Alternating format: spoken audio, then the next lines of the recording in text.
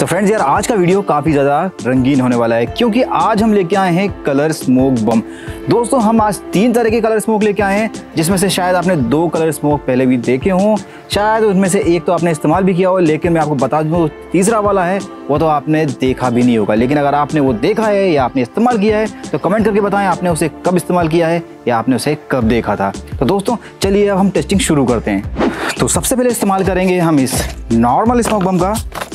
इसे आपने pre wedding में वेडिंग में और कई पार्टीज़ में देखा होगा।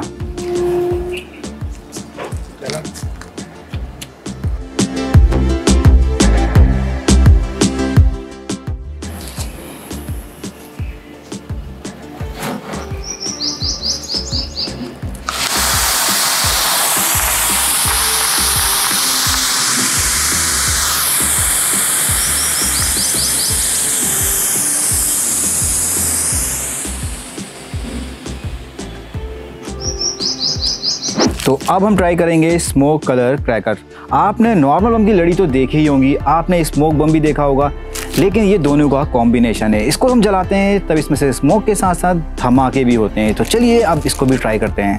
तो दोस्तों यार, होली आने वाली थी तो हमने सोचा था कि यार चलो अब कुछ कलरफुल भी ट्राई करते हैं। तो अब हमने सोचा है कि यार, अब अपने वीडियोज़ में हम होली स्पेशल भी कुछ लेके आया करेंगे।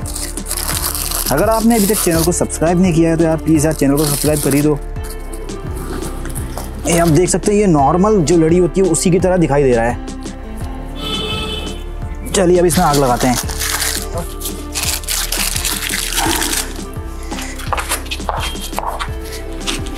घर में फूलेगा नहीं।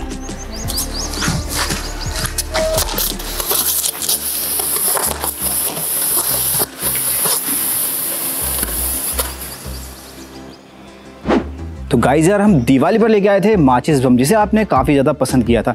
तो अब होली आ रही है तो हम लेके आए हैं माचिस स्मोक दोस्तों, माचिस स्मोक के इस पैकेट के अंदर पाँच स्टिक्स निकलती हैं, यानी कि इसमें पाँच स्मोक स्टिक निकलती हैं। इसे जलाने के लिए हमें लाइटर या फिर माचिस की ज़रूरत नहीं पड़ती, क्योंकि इसके जो पैकेट पर माचिस की तरह ही स्ट्राइगर होता है, हमें इस पर रगड़ना होता है और ये जलने लगता है। तो चलिए, अब इसको भी ट्राई करके देखते हैं।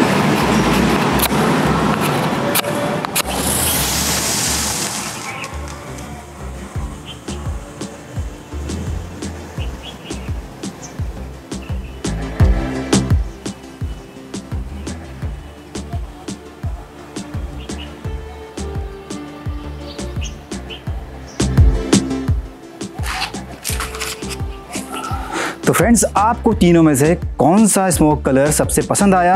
हमें कमेंट करके ज़रूर बताएँ। और दोस्तों, यहाँ फिर से बोल रहा हूँ, अगर चैनल को सब्सक्राइब नहीं किया है तो प्लीज़ चैनल को सब्सक्राइब करके जाइए। हम ऐसे वीडियो और भी लाते रहेंगे। तो चलिए दोस्तों, अब मिलते हैं नेक्स्ट वीडियो में। तब तक के लिए टेक केयर बाय बाय जय हिंद।